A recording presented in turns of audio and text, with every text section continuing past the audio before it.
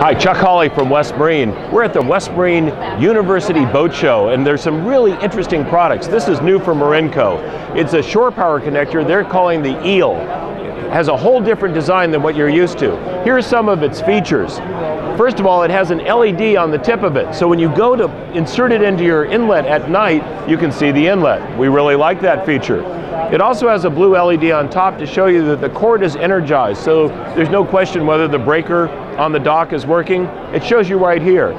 The third thing is that you pinch these sides in order to lock it in place, so it's really easy to install.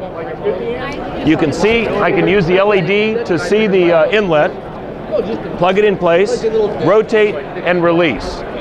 So it's really simple to connect your shore power. You don't have to twist any rings or do anything like that. If you want to lock it in place, there's a little thumb latch like that, or I can unlock it and to remove it, you just go like that.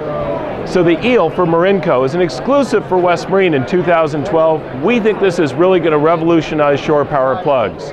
A course available online at westmarine.com or from any of our over 300 West Marine stores across the country.